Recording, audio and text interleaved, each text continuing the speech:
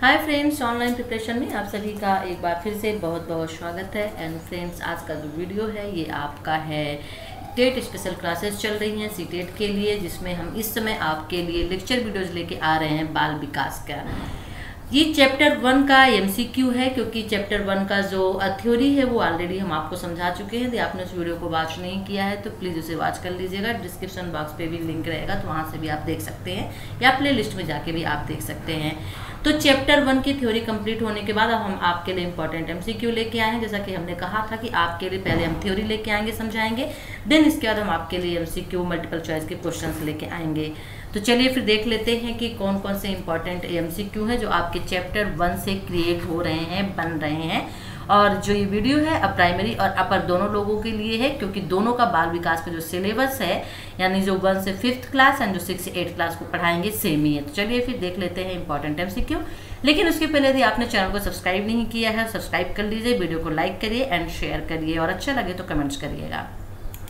तो फ्रेंड्स चलिए first question ले लेते हैं। हमारा जो पहला क्वेश्चन है, वो ये है, हम आपको गेस करने का टाइम भी देंगे, आप गेस करिए। अब आपकी कक्षा में एक बालक बड़ों से तू तड़ाक करके बोलता है, यानी अशिष्टता के साथ बोलता है। तो बालक के इस अशिष्ट व्यवहार को दूर करने के लिए आप क्या उपाय करेंगे? आप एक टीचर हैं और आप क्लास में पढ़ा रहे हैं और क्लास का एक जो बच्चा है, तू तड़ाक करके बोलता है, यानी अशिष्टता के साथ बोलता है, उसमें मैनर्स नहीं है। तो बालक को आप जो अशिष्ट व्यवहार है, उसके दूर करने के लिए आप क्या उपाय करेंगे, क्या सुझाव देंगे? इसमें ऑप्शन देख लेते हैं। बालक को सबके सामने आप प्रताड़ित करेंगे। बी बालक के माता पिता से उसे प्रताड़ित करने को कहेंगे।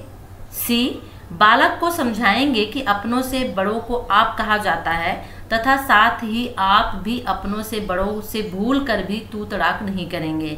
या फिर डी, आप बालक को आप कहकर संबोधित करने लगेंगे।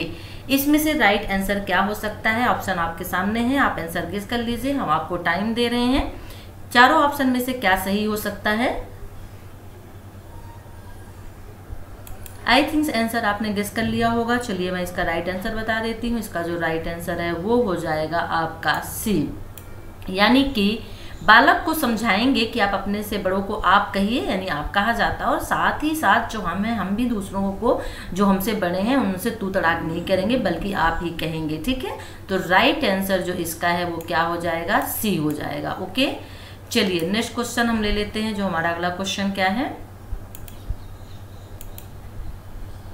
अगला क्वेश्चन ले लेते हैं कि पूर्व प्राथमिक शिक्षा ग्रहण करने के लिए उपयुक्त आयु क्या है? अब आपको बताना है कि पूर्व प्राथमिक जो शिक्षा होती है, उसको किस आयु में दिया जाता है? उसको देने की एज क्या है पूर्व प्राथमिक शिक्षा को? दो से छः वर्ष ऑप्शन नंबर ए देख लेते हैं। बी छः से बारह वर्ष सी बारह से अठारह वर्ष, या फिर डी अठारह से पच्चीस वर्ष। क्वेश्चन को समझिएगा। क्वेश्चन पूछ रहा है पूर्व प्राथमिक शिक्षा। यानी प्राथमिक शिक्षा के पहले की जो शिक्षा होती है, पूर्व का मतलब होता है पहले का तो जो प्राथमिक शिक्षा से पहले की शिक्षा होती है, बहुत आसान है, ऑप्शन जो आपके सामने आंसर आपने सेलेक्ट कर लिया होगा। देखिए, प्राथमिक जो शिक्षा होती है किस एज से स्टार्टिंग होती है? वो एज होती है सिक्स यानी छः वर्ष से। छः वर्ष से प्राथमिक शिक्षा स्टार्ट हो जाती है। छः वर्ष में जो बच्चा होता है, वो फ़र्स्ट क्लास में चला जाता है। तो बहुत सिंपल से आंसर इसका जो राइट आंसर है वो क्या हो जाएगा? यानी छः से पहले तो छः से पहले में सिर्फ़ एक ही ऑप्शन है, वो है दो से छः वर्ष तो जो दो से छः वर्ष की आयु होती है एज होती है, वो पूर्व प्राथमिक शिक्षा के अंतर्गत आती है। यानी जब बच्चे को प्ले में, फिर नर्सरी में यूकेजी एलकेजी वगैरह में डाला जाता है, ठीक है? तो पूर्व प्राथमिक शिक्षा ग्रहण करने की जो उपयुक्त आयु है, वो दो से छः वर्ष होती है और छः से जो बारह वर्ष होती है, वो होती है आपकी प्राथमिक शिक्षा की, ठीक है?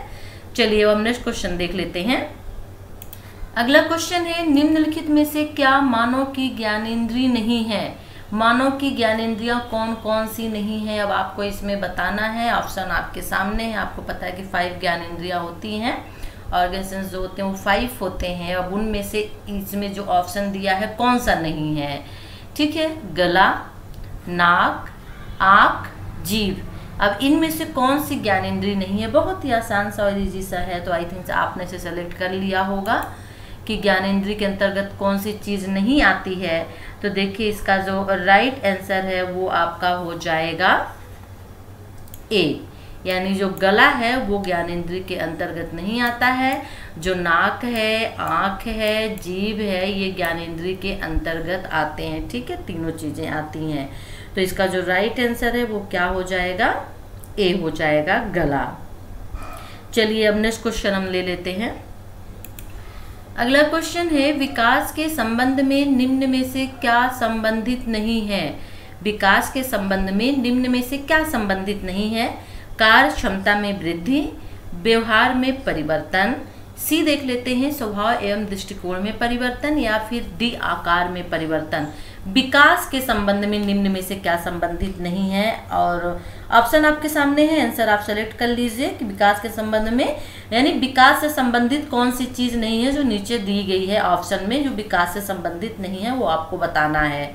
तो इसका जो राइट आंसर है, वो हो जाएगा आपका सेलेक्ट कर लिया होगा आपने। चलिए मैं बता देती हूँ, इसका जो राइट आंसर है, वो हो जाएगा आपका डी आकार में परिवर्तन। कार्य क्षमता में वृद्धि भी विकास से संबंधित होती है। व्यवहार में परिवर्तन, ये तो ये जो तीनों चीज़ें दी हुई हैं, स्वभाव एवं दृष्टिकोण में परिवर्तन, ये तो आपके विकास की डिफिनेशन में ही, परिभाषा में ही आ जाएँगी, जो अनवरत ये विकास होता रहता है, चलता रहता है, ठीक है ना? तो कार्य क्षमता में वृद्धि, व्यवहार में परिवर्तन, स्वभाव एवं दृष्टिकोण में परिवर्तन, ये सब विकास से संबंधित होते हैं, इसमें विकास होते रहते हैं, लेकिन आकार में जो परिवर्तन होता है, ये विकास से संबंधित नहीं है, ठीक है? अब चलिए अगला क्वेश्चन हम देख लेते हैं, क्योंकि आकार में जो परिवर्तन है वृद्धि से संबंधित है, ठीक है? चलिए नेक्स्ट क्वेश्चन देख लेते हैं। अगला क्वेश्चन, आप अपनी कक्षा में से कुछ छात्रों को चुनकर छः महीने में उनमें होने वाले विकास की एक रिपोर्ट तैयार करना चाहते हैं तो इसके लिए आप निम्न में से क्या चुनेंगे? आप अपनी कक्षा में एज टीचर के रूप में, कुछ छात्रों को आप चुनते हैं और उसमें छः महीने में जो विकास होता है उन बच्चों में तो आप उसका रिपोर्ट तैयार करते हैं। तो इसके लिए आप क्या चुनेंगे? चलिए अब इसमें जल्दी से ऑप्शन देख लेते हैं। ऑप्शन हमारे सामने इसमें दिया हुआ है। कि प्रत्येक माह उनकी लंबाई आप नापेंगे, ओके? जिन छात्रों को आपने चुना है। या फिर प्रत्येक माह उनका वज़न आप तोलेंगे, ठीक है? या फिर प्रत्येक माह उनके आकार में होने वाले परिवर्तन की जाँच करेंगे या फिर प्रत्येक माह उनकी रुचियों, आदतों, दृष्टिकोण, स्वभाव, व्यक्तिगत व्यवहार आदि में होने वाले परिवर्तनों की जाँच करेंगे। आप इनमें से क्या करेंगे? अब आपको राइट आंसर इसका देना है।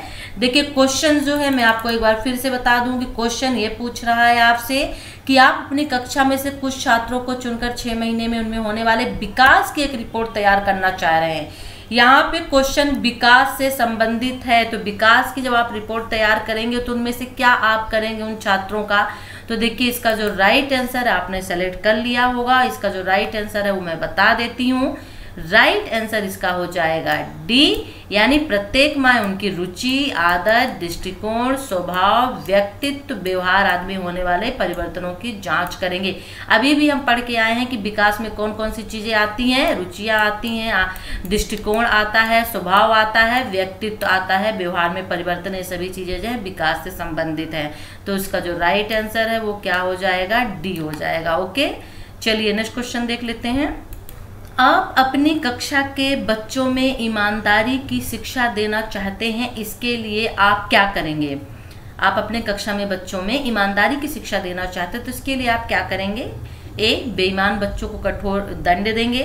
बी, बच्चों के समक्ष ईमानदारी के महत्व पर विस्तार पूर्वक प्रकाश डालेंगे। सी, ईमानदार बच्चों को पुरस्कृत करेंगे या फिर डी, बच्चों को ईमानदार व्यक्तियों की सफलता के उदाहरण देंगे। आप इनमें से क्या करेंगे? यदि आप एक टीचर हैं और अपनी कक्षा में आप बच्चों को ईमानदारी की शिक्षा देना चाहते हैं तो ऑप्शन आपके सामने है। जल्दी से आंसर आप सेलेक्ट कर लीजिए। आई थिंक आपने आंसर सेलेक्ट कर लिया होगा। इनमें से राइट right आंसर क्या होगा? तो चलिए मैं बता देती हूँ। इनमें से राइट right आंसर जो होगा, वो होगा कि सी हो जाएगा, यानी ईमानदार बच्चों को पुरस्कृत करेंगे। जब आप ईमानदार बच्चों को पुरस्कृत करेंगे तो जो अन्य बच्चे हैं, वो भी इससे सीख लेंगे और वो भी ईमानदारी की, ईमानदारी, ईमानदार बनेंगे। इसलिए इसका जो राइट आंसर है, वो सी सही होगा, ठीक होगा कि ईमानदार बच्चों को पुरस्कृत करेंगे। ठीक है ना? चलिए, अब जल्दी से नेक्स्ट क्वेश्चन देख लेते हैं।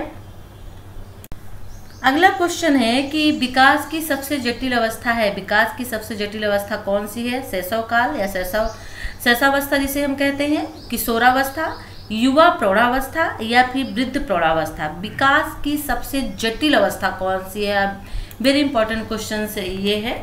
तो विकास की सबसे जटिल अवस्था कौन सी है? जल्दी से आप आंसर सेलेक्ट कर लीजिए। सहसावस्था किशोरावस्था, युवा प्रौढ़ावस्था या वृद्ध प्रौढ़ावस्था तो इसका जो राइट आंसर है, वो होगा कि विकास की सबसे जटिल अवस्था जो है, वो होती है बी, किशोरावस्था। इसे आधी तूफ़ान की अवस्था भी कहा जाता है। एक क्वेश्चन ये भी बनता है कि आदि तूफ़ान की अवस्था को किस नाम से जाना जाता है या फिर किशोरावस्था को दूसरे किस नाम से जाना जाता है तो वो हो जाएगा आदि तूफ़ान की अवस्था, ठीक है? तो विकास की सबसे जटिल अवस्था जो है वो कौन सी होती है? किशोरावस्था होती है। चलिए नेक्स्ट क्वेश्चन ले लेते हैं। अगला क्वेश्चन है, मैं कौन हूँ? क्या हूँ? मैं भी कुछ हूँ।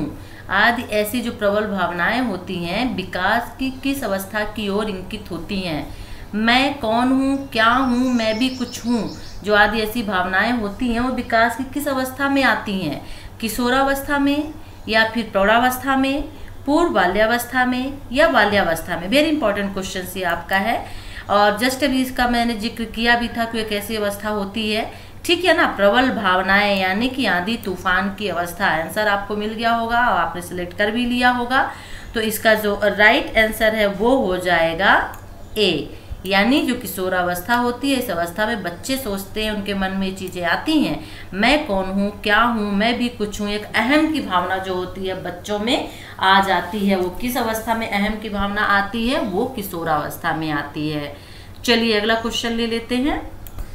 अगला क्वेश्चन है कि जब किसी किशोर में किसी वस्तु, समस्या या परिस्थिति के लिए निजी स्तर पर निर्णय लेने की क्षमता का विकास परिपक्व होने लगता है तो इस विकास को कहते हैं। यानी जब किसी किशोर में किसी वस्तु, समस्या या फिर परिस्थिति के लिए, निजी स्तर पर निर्णय लेने की क्षमता का विकास जो होता है वो परिपक्व होने लगता है तो उसे इस विकास की अवस्था को क्या कहते हैं? चलिए इसमें से ऑप्शन देख लेते हैं। ओके यानी कि परिपक्वता की अवस्था या फिर संज्ञानात्मक विकास या आध्यात्मिक विकास या फिर इनमें से कोई भी नहीं। तो देखिए इसका जो राइट आंसर क्या होगा, आप सेलेक्ट कर लीजिए। इसका राइट आंसर जो होगा, मैं बता देती हूँ, वो होगा बी यानी संज्ञानात्मक विकास की अवस्था कहते हैं, ठीक है? जो निर्णय लेने की अवस्था भावना, जिज्ञासा जो होती है, मन में आने लगती है, वो संज्ञानात्मक विकास की अवस्था कहलाती है, ठीक है? चलिए अगला क्वेश्चन देख लेते हैं। अगला क्वेश्चन है, मानव विकास एक निरंतर चलने वाली प्रक्रिया है, यह विचार संबंधित है, विचार किससे संबंधित है? मैंने जब आपको इसकी थ्योरी पढ़ाई थी, तब मैंने इसमें सिद्धांत आपको बताए थे। फ़र्स्ट थ्योरी में आपके सिद्धांत ही सॉरी सेकंड चैप्टर में आपके सिद्धांत हैं। उसमें मैंने क्वेश्चन बताया था कि इस तरह के क्वेश्चन पूछे जा सकते हैं कि सिद्धांत में से तो मानव विकास एक निरंतर चलने वाली प्रक्रिया है। यह विचार किस सिद्धांत से संबंधित है आपको बताना है। अंत संबंध के सिद्धांत से, निरंतरता का सिद्धांत से, एकीकरण के सिद्धांत से या अंत क्रिया का सिद्धांत, किस सिद्धांत के अंतर्गत ये कहा गया है कि मानव विकास एक निरंतर चलने वाली प्रक्रिया है। ऑप्शन आपके सामने है, आंसर आप सेलेक्ट कर लीजिए। बहुत ही आसान इसका आंसर है। तो आपने सेलेक्ट कर लिया होगा।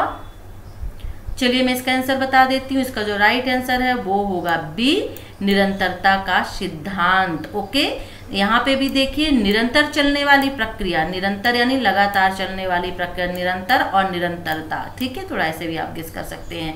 तो मानव विकास एक लगातार चलने वाली प्रक्रिया या सतत चलने वाली प्रक्रिया या निरंतर चलने वाली प्रक्रिया है। क्वेश्चन कुछ भी पूछे आंसर आपका निरंतरता का सिद्धांत ही होगा। ठीक है?